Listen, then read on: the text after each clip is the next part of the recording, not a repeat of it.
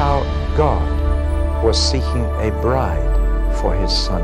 Each book is different from every other book. I'm trying to give you the keys for you to unlock it for yourself.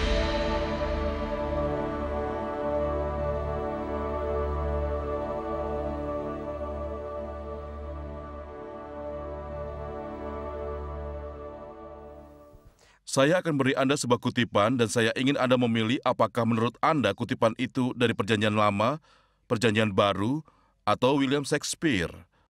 Saya pastikan kutipan itu berasal dari salah satunya. Nah, inilah kutipannya. Saya ingin Anda memilihnya dengan cepat. Inilah kutipannya. Jikalau orang berbuat demikian dengan kayu hidup, apakah yang akan terjadi dengan kayu kering? Jika orang berbuat demikian dengan kayu hidup, apa yang akan terjadi dengan kayu kering? Entah ini ada di Perjanjian Lama, Perjanjian Baru, atau Shakespeare, kita akan memilih sekarang. Perjanjian Lama, berapa banyak yang memilih ini? Sedikit, berapa yang berpikir ini di Perjanjian Baru? Berapa yang berpikir ini William Shakespeare? Bagus, benar. Mayoritas benar.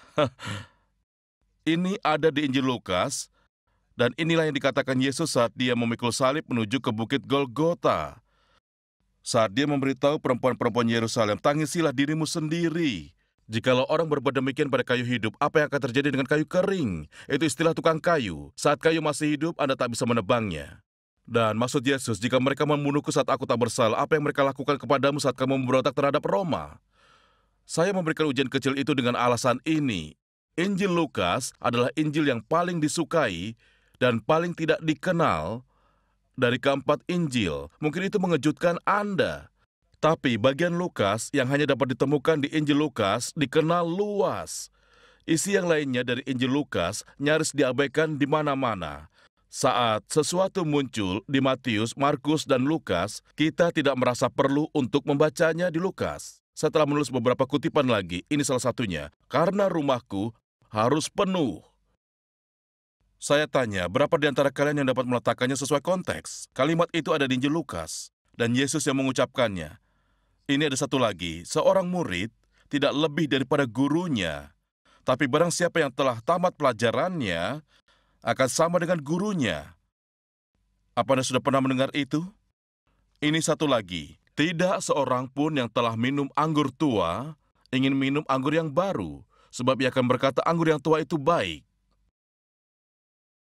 Saya dapat terus melanjutkan, sayangnya kita sangat mengenal beberapa bagian Lukas, perumpamaan anak yang hilang, orang Samaria baik hati. Kita tahu cerita-cerita ini. Kisah laki-laki kecil Zakheus yang naik ke atas pohon dengan berbagai cara, kisah Marta dan Maria, kisah pencuri di kayu salib, jalan ke Emmaus, di sini ada dua gambar, itu Emmaus, itu jalan utama Emmaus, tempat dua, dua orang suami istri, Kleopas dan istrinya sedang berjalan.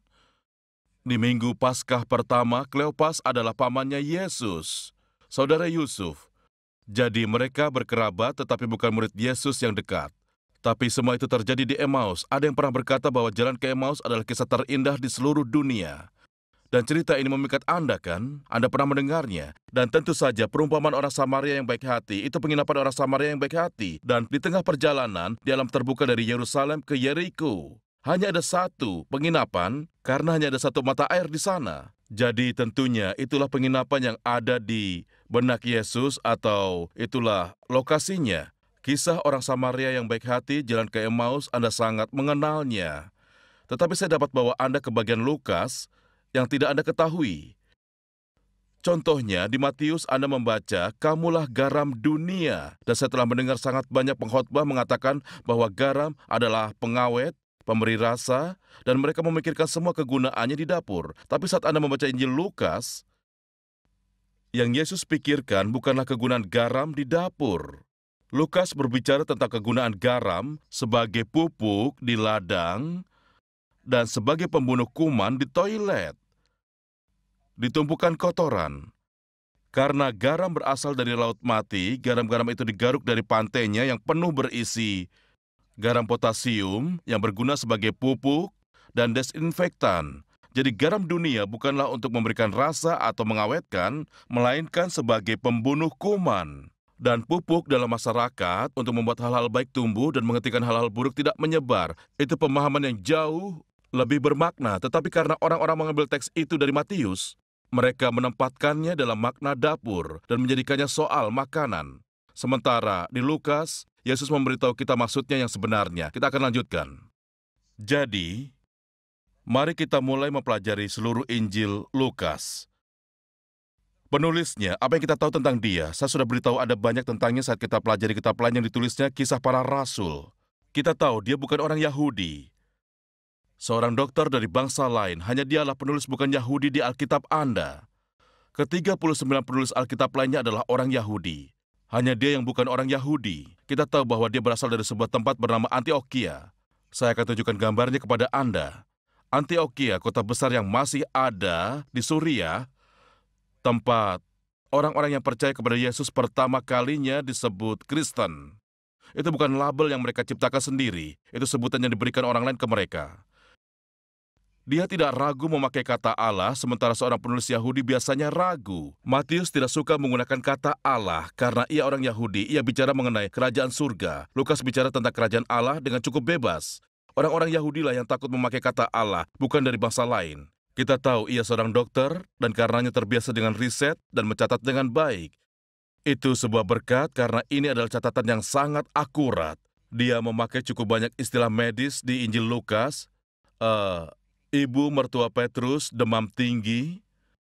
Itu istilah medis yang hanya digunakan dokter. Dan menurut saya, ini menakjubkan selera humor Tuhan bahwa dia menginginkan seorang dokter untuk memberitahu kita tentang kelahiran perawan.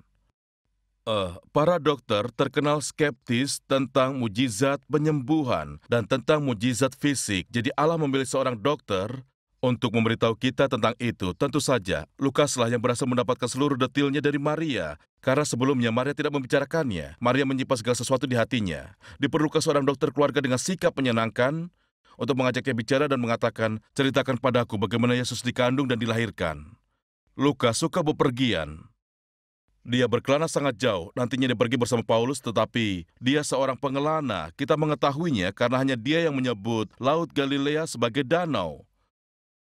Baginya itu hanyalah danau, paham? Luasnya hanya 20 km kali 12, tetapi bagi para nelayan itu adalah Laut Galilea. Tapi dia menyebutnya danau. Dan uh, sebagai pengelana dunia, dia mengatakan yang sebenarnya. Tapi dia adalah penulis yang mahir, bahkan sangat mahir saya akan memberi Anda satu contoh betapa ahlinya dia merangkum beberapa hal. Bagaimana dia menyatukan perumpamaan. Seringkali kita menyebut Lukas 15 sebagai perumpamaan anak yang hilang, sama sekali bukan. Sebenarnya itu perumpamaan bapa yang hilang. Sang bapa lah yang menyanyikan uangnya dengan memberikannya kepada dua anaknya. Sang bapa lah yang membuang-buang uangnya. Dan saat Anda membaca dua pasal itu tanpa jeda, anda akan melihat bagaimana temanya mengalir dan bagaimana dengan indahnya Lukas menuliskan Injil yang paling enak dibaca. Pasal 15 diawali dengan pemungut cukai dan orang berdosa yang sedang makan bersama Yesus di sebuah rumah. Dan orang-orang Farisi serta ahli-ahli Taurat bersungut-sungut di luar. Dan itulah latar ceritanya. Dua pasal berikutnya mengalir dari situasi tersebut. Dan untuk menjelaskannya, Yesus mulai bercerita. Kisah pertama yang dia ceritakan adalah tentang seekor domba yang hilang yang tersesat jauh dan menyadarinya. Kemudian tentang dirham yang hilang di rumah tetapi tidak disadari. Kisah pertama untuk laki-laki, yang kedua untuk wanita, tetapi ada dua barang yang hilang. Kemudian kita tiba di kisah utama, dan kisah itu tentang dua anak yang hilang. Penekanannya bukan pada anak yang lebih muda, tapi pada yang lebih tua. Dia lebih tersesat daripada yang lebih muda. Dan dia tidak mengetahuinya. Dia seperti domba yang hilang, tersesat jauh dan menyadarinya. Sementara dia seperti dirham yang hilang, dia tidak menyadarinya. Anda mulai melihat alurnya, dan saat Anda maju ke pasal 16, Anda bertemu lagi dengan dua karakter yang sama dengan dua orang ini kisah membingungkan tentang seorang bajingan yang dipuji Yesus karena ketidakjujurannya. Anda mengingatnya? Menurut beberapa orang itu tidak benar, tapi menarik sekali karena kata yang persis sama dipergunakan. Anak yang lebih muda menghamburkan miliknya di negeri jauh, dan bendahara yang tidak jujur itu menghamburkan milik tuannya. kata yang sama, karakter yang sama. Sama seperti anak yang lebih tua melakukan segalanya dengan benar. Aku tidak pernah melanggar perintah Allah. Orang kaya ini tidak bersalah. Atas dosa, perbuatan, atau kejahatan apa pun, tetapi berakhir di neraka. Karena ketidakpeduliannya terhadap orang lain. Dia memanjakan dirinya sendiri serta ketidakbergantungannya kepada Tuhan. Paham? Jadi, Anda melihat alur temanya terus berlanjut seperti itu. Dan dan Lukas dengan indahnya menyatukan tema-tema ini. Sebuah tragedi karena ada orang yang membagi-bagi Alkitab ke dalam pasal-pasal lalu ayat-ayat. Kita kehilangan alurnya. Kita mulai membaca di titik yang salah. Kita kehilangan benang merahnya. Dan benang merah di kitab Lukas sangat indah. Dia penulis yang mahir dan itu hanya satu contoh. Jika Anda ingin melihat gaya penulisan terbaiknya, bacalah penjelasan tentang kapal karam di akhir kisah para rasul. Tak pernah ada penggambaran kapal karam seperti itu. Sangat sempurna. Dia seorang penulis, tetapi dia juga seorang pengabar Injil. Dan jauh di lubuk hatinya dia ingin memenangkan orang lain untuk Kristus, begitu dia sendiri menjadi Kristen. Dia ingin dunia mengetahuinya. Dia tidak berkhotbah. Dia bukanlah pembicara, tapi dia dapat menulis. Dan dia memakai bakat menulisnya untuk membawa orang lain ke dalam iman. Nah, untuk siapa kitab ini dituliskan? Sebenarnya kitab ini bukan ditulis untuk orang tidak percaya, tapi hanya untuk satu orang. Dia melakukan penelitian untuk buku pertama yang kita sebut Injil Lukas dan buku kedua yaitu Kisah Para Rasul. Dia melakukan semua itu untuk seseorang yang dia sapa Theophilus yang mulia. Jika Anda sudah menonton video saya tentang kisah para rasul, saya tidak perlu banyak jelaskan pada Anda. Saya percaya pada dasarnya Dr. Lukas menuliskan dua buku ini meneliti dan kemudian menuliskannya hanya untuk satu tujuan, membebaskan Paulus dari persidangan di Roma. Dia bersama-sama Paulus di Roma, dan pada setiap persidangan tentu saja pengacara, pembela, dan hakim ingin mengetahui semuanya tentang orang yang ada di kursi terdakwa. Jadi Lukas menuliskan dua buku ini, satu tentang Yesus yang memulai kepercayaan baru ini, dan satu lagi tentang Paulus yang menjadi penyebar utamanya. Dan begitu Anda mengetahui inti tersebut, kedua kitab ini menjadi masuk akal. Sebagai contohnya, pada kedua kitab ada tiga pernyataan tentang ketidakbersalahan Yesus di Injil dan Paulus di kisah para rasul dari pejabat Roma.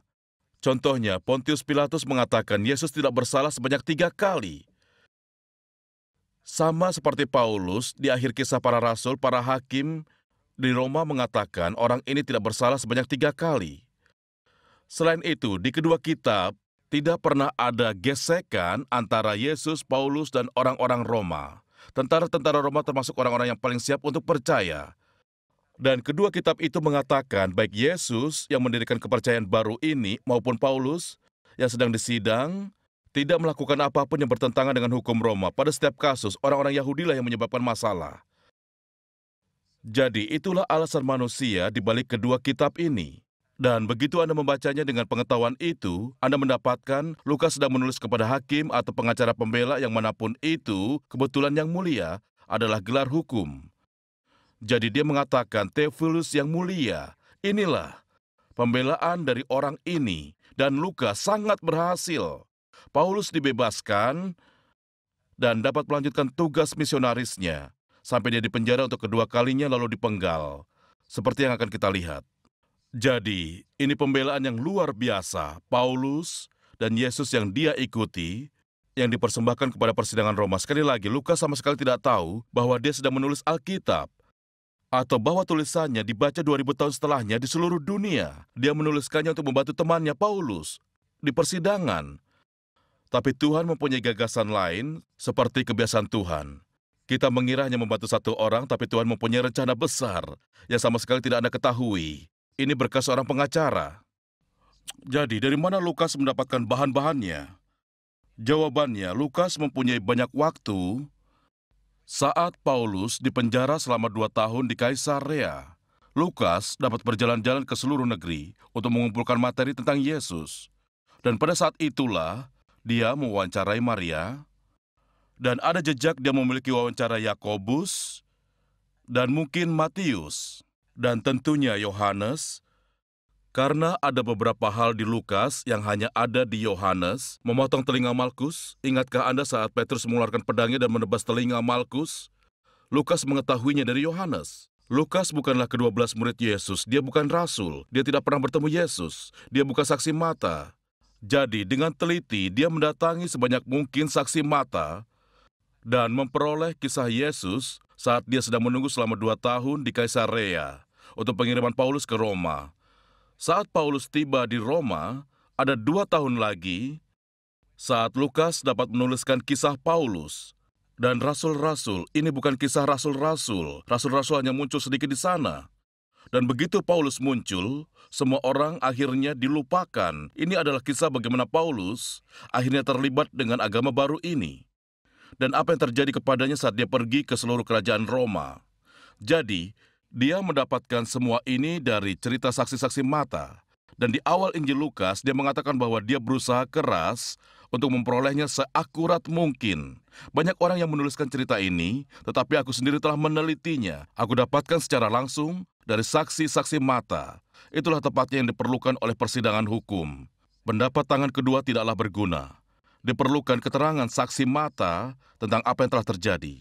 Dan Lukas sendiri bukanlah saksi mata terhadap Paulus. Tentunya dia bukan saksi mata terhadap Yesus, dia mendapatkan materinya dari saksi-saksi mata. Dan Lukas menuliskannya dengan teliti. Ini adalah satu penelitian yang luar biasa dan orisinil. Dan kembali ke tabel yang sempat saya perlihatkan tadi, Injil Lukas ada di kanan dan yang berwarna kuning adalah seluruh materi orisinilnya. Ada banyak.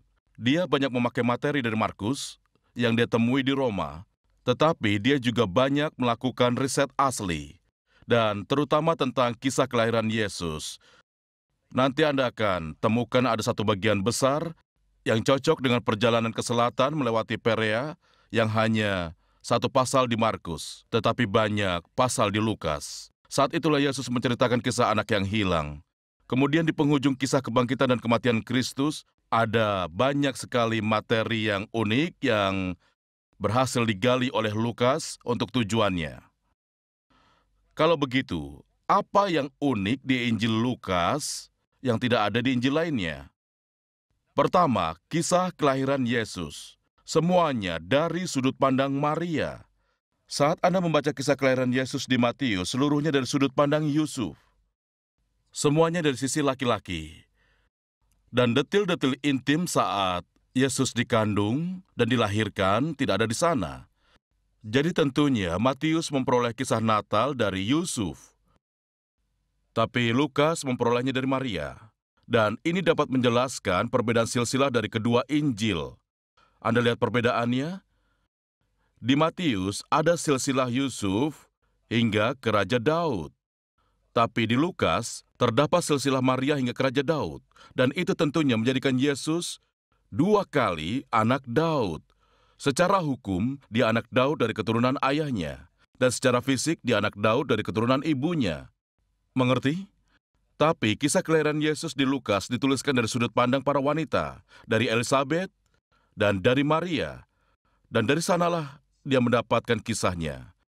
Kemudian ada kisah-kisah unik masa kecil Yesus di Lukas. Dialah satu-satunya yang berhasil menggali sesuatu tentang Yesus dari 30 tahun pertama masa hidupnya. Tidakkah itu sungguh menakjubkan? Kita tahu Yesus seorang tukang kayu, tapi di usia 12 tahun, Yesus mengikuti upacara bar mitzwahnya. Saya tidak tahu apa Anda pernah menghadiri acara bar mitzwah Yahudi. Bar mitzwah artinya mampu melakukan perbuatan-perbuatan baik. Saat seorang anak laki-laki mencapai usia 12 tahun, maka dia mampu melakukan perbuatan-perbuatan baik dan karenanya bertanggung jawab atas perilakunya sendiri. Sampai 12 tahun, orang tuanya dihukum saat seorang anak melakukan kesalahan. Bukankah itu menjadi kemajuan luar biasa dalam masyarakat kita? Tapi di usia 12 tahun, dia mampu melakukan perbuatan baik bar mitzvah. Jadi dia dibawa ke sinagog dan membaca satu bagian hukum Musa. Dia pun jadi laki-laki dewasa. Dia singkirkan hal-hal kekanakan, menyingkirkan mainannya. Dia menjadi rekan bagi ayahnya dalam pekerjaan apa pun yang dilakukan oleh ayahnya. Anda tahu dalam um, masyarakat dan kebudayaan kita, kita tidak mempunyai upacara saat seorang anak menjadi seorang dewasa. Jadi kita terus menjadi anak laki-laki. Dan satu-satunya perbedaan ayah dengan anaknya adalah harga mainannya. Sebenarnya, kita membutuhkan pengakuan. Anak laki-laki ini sekarang sudah dewasa. Dan inilah yang terjadi kepada Yesus. Yusuf dan Maria membawanya ke Yerusalem. Cara mereka melakukan perjalanan di zaman itu, para wanita pergi lebih dulu dan mereka berjalan 24 km setiap hari. Lalu mereka pasang tenda dan memasak makanan. Dan saat makanannya sudah siap, maka para pria pun tiba. Pengaturan yang bagus? Uh, para feminis akan sangat marah dengan ini, sudahlah. Jadi, anak-anak di bawah 12 tahun berjalan bersama ibunya, dan anak-anak laki-laki di atas 12 tahun berjalan bersama ayahnya. Saat mereka meninggalkan Yerusalem, para wanita pergi lebih dulu ke Yeriko, memasang tenda, memasak makanan, lalu para pria pun tiba. Maria bertanya kepada Yusuf, di mana Yesus? Kata Yusuf, kupikir dia bersamamu. Tidak, dia sudah 12 tahun, dia pasti bersamamu. Dia bukan anakku, dia anakmu. Dan seperti itulah mereka kehilangan Yesus. Masing-masing berpikir dia bersama yang lain, mengerti? Lalu mereka akhirnya kembali dan setelah mencari-cari mereka menemukannya di tempat yang seharusnya mereka lihat pertama kali, di bait suci. Dan dan percakapan berlangsung menakjubkan. Maria seperti ibu yang cemas dan marah lainnya berkata, Kau ke mana saja, bapakmu dan aku mencarimu ke mana-mana. Bapakmu dan aku mencarimu ke mana-mana. Dan Yesus pun menjawab, Tapi sekarang aku sudah dewasa apa ibu tidak tahu sekarang aku memasuki pekerjaan bapakku? Aku adalah rekannya, aku sudah dewasa. Jadi Yesus berkata, sekarang aku sudah memasuki pekerjaan bapakku, apakah ibu tidak tahu? Dan hal paling mengagumkan adalah dikatakan bahwa dia kembali ke Nazaret dan patuh kepada mereka. Itu sedikit kilasan, tetapi artinya Yesus mengetahui siapa dirinya meskipun usianya baru 12 tahun. Padahal Maria tidak pernah memberitahunya. Dia berkata, Bapamu dan aku mencarimu. Mereka selalu membesarkan Yesus dengan Yusuf sebagai ayahnya. Tapi Yesus tahu, ini kisah kecil yang menakjubkan yang pasti diperoleh Lukas dari Maria. Berikutnya yang kita ketahui pada baptisan Yesus, sekali lagi Lukas memasukkan informasi yang tidak ada di mana-mana. Contohnya, Lukaslah yang mengatakan bahwa setelah Yesus keluar dari air baptisan, lalu dia pergi ke tepian dan berdoa. Dan karena doa itulah maka roh kudus diberikan ke atasnya. Itu sungguh sangat menarik karena dari Lukaslah kita belajar lebih banyak tentang baptisan roh daripada penulis lainnya. Dia kembali ke pengalaman Yesus bahwa setelah dia dibaptis dengan air, Yesus berdiri dan berdoa. Jelas bahwa dia memintanya kepada Bapa berikan aku roh kudus. Dan burung merpati pun turun. Dan Lukas sangat tertarik kepada roh kudus lebih daripada penulis-penulis Injil lainnya. Atau jelas lebih daripada Matius dan Markus. Dan pada pengajaran Yesus di Lukas ada hal-hal misalnya khotbah di bukit menghilang dan jadi khotbah di tempat yang datar dan mencocokkan setiap yang diberkati adalah celaka. Bahagialah kamu yang berduka cita, celakalah kamu yang tertawa sekarang. Jelaslah bahwa Yesus mengajarkan khotbah itu lebih dari satu kali dan dalam berbagai bentuk. Dan Lukas telah memberikan bentuk khotbah di bukit yang sangat berbeda kepada kita. Bentuk yang lebih pendek dan tentunya yang Yesus khotbahkan pada kesempatan lain. Tapi untuk setiap berkat ada celaka, dan celaka ada kutuk dan Yesus memang mengutuk orang-orang. Tentu saja, perumpamaan hal utama yang kita dapatkan dari Lukas, perumpamaan orang Samaria yang baik hati, perumpamaan anak yang boros, bapak yang royal, dan dua anaknya yang hilang, perumpamaan hakim yang tidak mengenal Allah, perumpamaan orang Farisi dan pemungut cukai, bukankah itu perumpamaan luar biasa? Betapa mengagumkan pesannya. Perumpamaan teman di tengah malam, menggedor pintu temannya, sampai dia dapat roti di tengah malam untuk pengunjung yang datang tiba-tiba, Yesus berkata, seperti itulah kamu harus meminta roh kudus. Ketuklah pintu Allah sampai kamu mendapatkan roh kudus. Karena jika kamu yang jahat tahu memberikan yang baik kepada anakmu, apalagi Bapamu yang di surga, dia akan memberikan roh kudus kepada orang-orang yang memintanya. Perumpamaan pohon ara yang tidak berbuah, perumpamaan tentang bendahara yang tidak adil, perumpamaan Lazarus dan orang kaya, yang berakhir di neraka. Itulah satu-satunya perumpamaan yang mencantumkan nama seseorang, Lazarus. Jadi perumpamaan itu mungkin mengacu kepada situasi nyata orang sebenarnya. Perumpamaan dua orang yang berhutang. Kemudian ada banyak kejadian tentang orang-orang di Injil ini. Mari kita lihat di antaranya. Ada perempuan sundal yang mengurapi kaki Yesus di rumah seorang Farisi. Salah satu kisah paling mengharukan di dalam Injil. Dan Yesus berkata, dia lebih banyak diampuni, jadi dia lebih mengasihi aku. Orang-orang yang sedikit diampuni akan sedikit mengasihi aku. Ada kejadian seorang wanita menyentuh ujung jubah Yesus di tengah-tengah kerumunan orang banyak. Dan Yesus tahu ada kuasa yang keluar dari dirinya. Ada kejadian Marta dan Maria, siapa yang tidak tahu kisah itu? Kejadian Zakheus, laki-laki kecil di atas pohon, dan betapa terkejutnya dia saat Yesus berkata, aku datang ke rumahmu untuk makan siang. Yang artinya, Yesus kehilangan lusinan teman untuk memperoleh satu teman. Ada kisah laki-laki yang punya penyakit kusta, kisah wanita lumpuh, kisah sepuluh orang kusta, dan hanya satu yang kembali untuk berterima kasih. Sangat mencerminkan kenyataan. Kita terus berdoa saat kita butuh bantuan. Tapi seberapa sering kita kembali dan mengucapkan terima kasih. Kemudian ada kejadian-kejadian lain seperti mujizat tangkapan ikan, pencurian sekarat, dan dua orang di jalan ke Emmaus. Injil yang indah.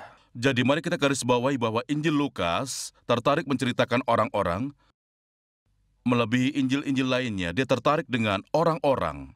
Tentu saja karena dia seorang dokter keluarga. Tapi ada sesuatu yang lebih dalam daripada itu. Setidaknya ada enam kelompok orang yang dia minati secara khusus. Dan itu sangat mengagumkan. Kelompok pertama yang dia minati adalah orang-orang Samaria Perumpamaan orang Samaria yang baik hati menunjukkan hal itu, tapi hanya Lukas yang memberitahu bahwa satu orang kusta yang kembali untuk berterima kasih adalah orang Samaria. Yang lainnya orang Yahudi. Mereka mengambil berkat kesembuhan dan tidak berterima kasih. Orang Samaria itu kembali. Yakobus dan Yohanes ingin memanggil api dari surga untuk menghancurkan orang-orang Samaria karena mereka kasar kepada Yesus. Menurut saya, ironis bahwa di kisah para rasul, Yohanes harus kembali ke Samaria untuk berdoa agar mereka menerima api Roh Kudus. Jadi Yesus berkata, kamu bisa minta api dari surga untuk mereka, tapi bukan seperti yang kamu pikirkan. Kamu akan kembali bertahun-tahun kemudian dan dia pun melakukannya. Dan kelompok kedua yang menarik minat Lukas adalah orang-orang dari bangsa lain. Dia termasuk salah satunya, dia bukan orang Yahudi. Jadi, beberapa kali orang-orang dari bangsa lain berperan penting dalam kisah ini. Janda di Sarfat, Naman orang Syria, Berkali-kali ada ketertarikan pada orang dari bangsa lain. Ketiga, Lukas tertarik kepada orang-orang buangan. Orang-orang yang tidak dipandang atau disentuh orang lain, yang diperlakukan dengan kebencian, orang-orang kusta, pemungut cukai, bahkan gembala, pelacur. Lukas sangat tertarik dengan orang-orang buangan dari masyarakat. Keempat, dia secara khusus tertarik kepada wanita. Marta, Maria, wanita yang menyentuh jubah Yesus, perempuan-perempuan yang menangisi Yesus saat dia memikul salibnya. Lukas mengacu kepada sepuluh wanita yang tidak disebutkan di tempat lain. Sekali lagi, itu kebiasaannya sebagai dokter keluarga, tapi itu membuat Lukas menjadi Injil yang sangat populer di kalangan wanita. Kelima, dia mempunyai tempat khusus di hatinya untuk orang-orang miskin.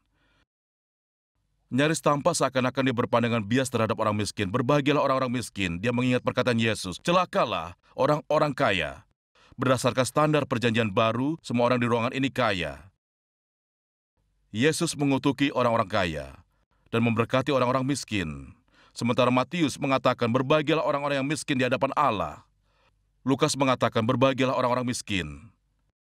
Hanya miskin. Dia mengatakan bahwa kemiskinan adalah berkat luar biasa.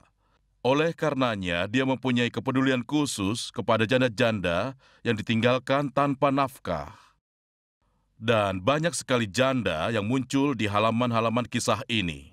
Dan kategori uh, terakhir yang merupakan kejutan adalah para pendosa. Lukas mempunyai minat khusus kepada pendosa. Anda pasti tahu apa itu pendosa. Kita berpikir pendosa adalah orang yang sangat jahat, kanibal, kriminal, tapi bukan itu yang dimaksud pendosa oleh Alkitab. Bukan. Uh, saya sedang berada di bus wisata di Israel. Beberapa di antara kalian mungkin ada bersama saya, entahlah. Dan uh, pengemudi dan pemandu wisata Israel itu duduk di depan Dan saya sedang berbicara di mikrofon, saya berkata, saya ingin Anda mengetahui apa itu pendosa. Di bis ini ada dua pendosa. Mereka berdua duduk di depan bis. Dan dua orang di depan itu menegakkan punggungnya dan langsung menatap saya. Saya berkata, Anda lihat kedua orang yang ada di depan ini pendosa.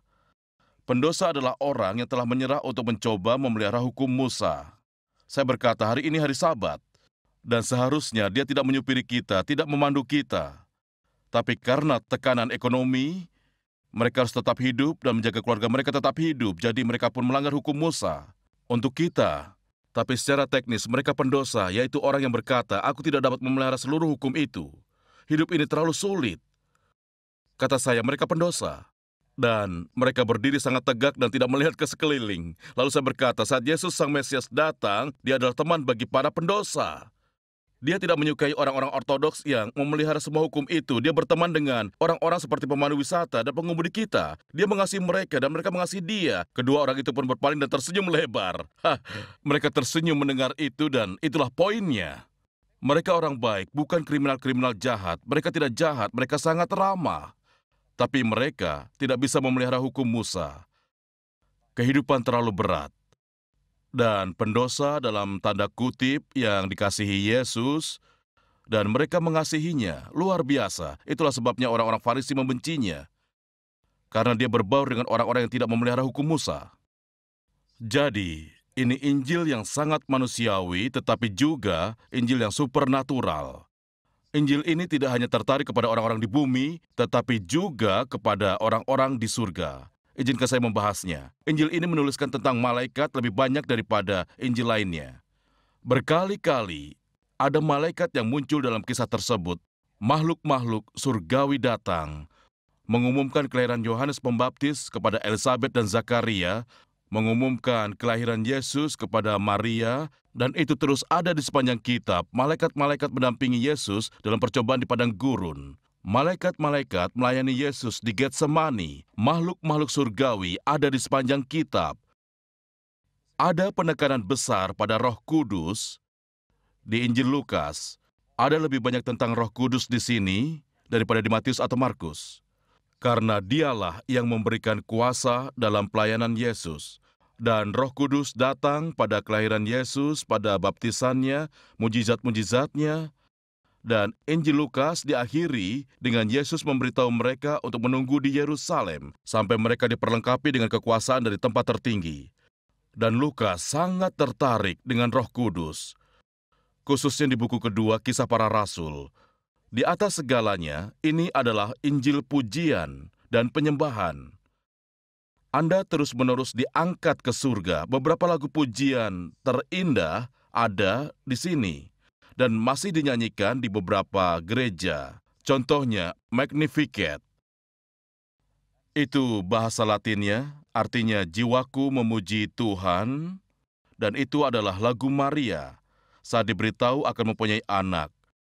Kemudian ada Nun Dimitus. Anda pernah menyanyikan Nun Dimitus? Tuhan, sekarang biarkanlah hambamu pergi dalam damai. Itu berdasarkan Simeon, laki-laki tua yang melihat seorang tukang kayu dan istrinya bersama seorang bayi kecil di bait suci. Dan dia tahu bahwa itulah Mesias. Dia memuji Tuhan dan berkata, Tuhan, sekarang aku dapat pergi dengan bahagia, aku melihatnya. Memang ini pengalimatan ulang secara bebas, tapi itulah maknanya. Tuhan, biarkanlah hambamu ini pergi dengan damai. Mataku telah melihat kemuliaan engkau, di Lukas Anda mendapatkan lagu-lagu pujian dan penyembahan. Lukas adalah seorang penyembah. Yang paling penting, Lukas menulis tentang doa. Dia menulis tentang doa-doa Yesus lebih daripada Injil lainnya. Anda terus melihat Yesus menaiki gunung, berkata, Bapa, apa yang harus kulakukan sekarang? Siapa yang kupilih untuk menjadi muridku? Apakah engkau mau aku pergi ke sini? Dan kehidupan doa Yesus sangat nyata. Nyata sekali. Baik, saya akan mulai menutup pelajaran ini. Lukas adalah Injil untuk semua orang. Semua orang dapat menemukan tempat mereka di sini. Semua orang dapat memahami Injil ini di satu titik dan berkata, yaitu aku. Itulah sebabnya Injil ini sangat bagus untuk dunia non-Yahudi. Kita dari bangsa lain. Jadi Injil ini bagus diberikan ke bangsa bukan Yahudi. Dan Lukas ingin Yesus diperuntukkan bagi semua orang atau memakai istilahnya semua raga. Anda menemukan istilah itu terus digunakan, istilah itu muncul di Injil. Semua orang akan melihat keselamatan yang dari Tuhan. Anda menemukannya muncul di kisah para rasul. Aku akan mencurahkan rohku ke atas semua manusia. Dan itulah yang selalu ditekankan Yesus untuk semua orang, tidak peduli bangsa mereka, ras mereka, warna kulit mereka. Yesus adalah penyelamat dunia. Ini adalah penekanan yang sangat indah. Dan meskipun dia mengawalinya dengan konteks yang sangat Yahudi, pada buku keduanya dia mengakhiri di ibu kota kerajaan bangsa lain yaitu Roma. Itulah sebabnya sejak awal ada malaikat-malaikat yang menyanyikan damai di bumi di antara manusia yang berkenan kepadanya. Dan nyanyian itu terus dikutip setiap Natal. Mungkin itu adalah kalimat paling terkenal dalam kisah Natal. Di sini kita memegang sebuah Injil yang menuliskan, orang akan datang dari timur dan barat, dari utara dan selatan, dan mereka duduk makan di kerajaan Allah. Ada visi mengenai seluruh dunia di sini. Sementara Matius memandang Yesus sebagai raja orang Yahudi. Di sini, Lukas mengatakan bahwa penyelamat dunia adalah bagi semua orang. Saya menulis sebagai orang dari bangsa lain. Anda orang dari bangsa lain, kepada siapa saya menulis? Tetapi Yesus untuk kita juga. Itu menjadikan ini Injil yang sangat indah. Saya akan merangkum Injilnya dalam tiga kata. Ini Injil manusia, ini Injil surgawi, dan yang terutama ini Injil bahagia. Ini Injil bahagia. Tahukah Anda bahwa kata-kata yang berkaitan dengan akar kata bersuka cita muncul lebih sering di Injil ini daripada di Injil lainnya? Ada sukacita di dalam Injil ini, ada sukacita di surga. Sadarkah Anda bahwa jika seseorang dibaptis, maka malaikat-malaikat berpesta. Ada lebih banyak sukacita, dan di surga saat seorang pendosa bertobat. Anda tidak menemukan kata sukacita di Matius atau Markus. Tapi Lukas adalah dokter yang bahagia, dan dia menuliskan Injil bahagia, Injil manusia, Injil surgawi, dan yang terutama Injil bahagia. Hanya Injil inilah yang menyebutkan kata tertawa. Menarik bukan? Anda tidak akan menemukan kata itu di Injil lainnya. Dan saya rasa tidak di kitab-kitab perjanjian baru lainnya. Tetapi Anda akan mendapatkan kata tertawa di Injil Lukas. Baik, ada keselamatan untuk orang-orang berdosa. Saya rasa kita dapat menutup dengan mengatakan bahwa Injil Lukas mudah sekali digunakan. untuk mudah dipahami, tetapi Injil ini mudah digunakan. Dan salah satu kalimat yang saya berikan di awal sesi yang mungkin tidak Anda dengar, karena rumahku harus penuh, adalah bagian dari perumpamaan tentang perjamuan besar. Dan uh, penyelenggara perjamuan itu mengirimkan undangan. Orang-orang mulai membuat alasan. Aku baru saja menikah, aku tidak bisa datang. Aku baru membeli sepasang lembu dan aku harus mencobanya. Aku telah membeli ladang dan aku harus melihatnya. Penyelenggara perjamuan itu berkata, jika mereka tak mau datang, pergilah ke jalan-jalan dan bujuklah orang-orang untuk datang. Dan mereka pun datang. Saat mereka datang kepada orang yang mengadakan perjamuan itu dan masih ada kursi-kursi yang kosong. Dia berkata, pergilah ke jalan-jalan di seluruh negeri dan bawa mereka masuk. Kemudian dia berkata, sebab rumahku harus penuh. Seperti itulah surga nantinya. Tidak akan ada kursi yang kosong. Surga akan penuh. Dan Allah akan melengkapi jumlah uh, keluarganya dan dia akan berkata kepada kita, pergilah sejauh mungkin dan bawalah mereka masuk, karena rumahku harus penuh. Rumah itu akan dipenuhi bangsa lain, orang Samaria, para pendosa, perempuan, orang-orang miskin. Rumah itu akan penuh. Dan itu benar-benar merangkum Injil Lukas. Betapa bersyukurnya kita, karena Lukas telah menuliskannya. Seharusnya saya menunjukkan itu kepada Anda lebih awal. Jadi marilah kita Melihatnya sekarang, saya telah membahas materi khas di Injil Lukas, kelahiran Yesus, masa kecilnya, silsilahnya, ajaran-ajarannya, perumpamaan, dan tentu saja diakhiri dengan naiknya Yesus ke surga. Hal yang tidak ada di Injil-Injil lainnya. Dan itulah kaitan Lukas dengan buku keduanya. Injil ini diakhiri kenaikan Yesus dan kisah para rasul dimulai dengannya. Jadi kisah itu menjadi sambungan ke volume 2. Saya telah membahas minatnya kepada manusia, orang-orang Samaria, orang-orang dari bangsa lain, para wanita, orang miskin, dan pendosa. Ingatlah, apa itu pendosa? Seseorang yang tidak dapat memelihara seluruh hukum Musa. Lalu kita telah mempelajari dimensi supernatural, malaikat, doa, roh kudus, penyembahan, dan satu hal lagi, ada penekanan pada kerajaan Allah yang akan datang. Hari besar yang akan datang, saat anak manusia kembali. Semua ada di sana, Injil yang sangat luar biasa. Sekarang silakan Anda membacanya.